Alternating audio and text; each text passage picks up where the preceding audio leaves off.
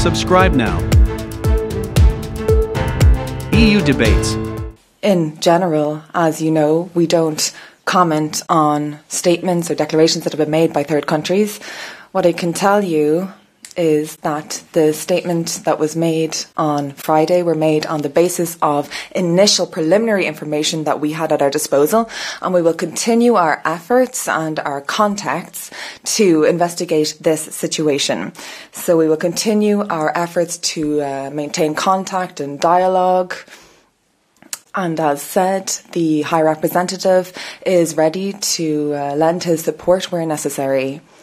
On your second question, then, you will understand that it is not up to me at all to speculate publicly on the motivations of a third country and its decisions. Now, as I've said, I have no comment to make on the communique issued by Algeria, but there's one thing I can reiterate, namely that we are continuing to make every effort to try and find a solution to this problem. Thank you very much, Nabila. Any other questions on this subject?